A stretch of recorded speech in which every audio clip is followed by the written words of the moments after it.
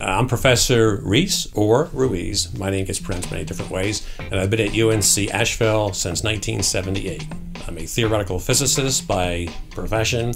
Traditionally, you have introductory physics for engineers, physics majors, chemistry majors, atmospheric science majors. It's just very technical, calculus based introductory class.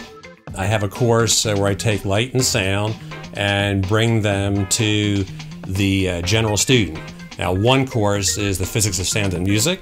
The other course is light and visual phenomena, which uh, deals with light, color, and even illusions. So it's a real fun course, and we show the laws of physics in a setting that's applications across other disciplines.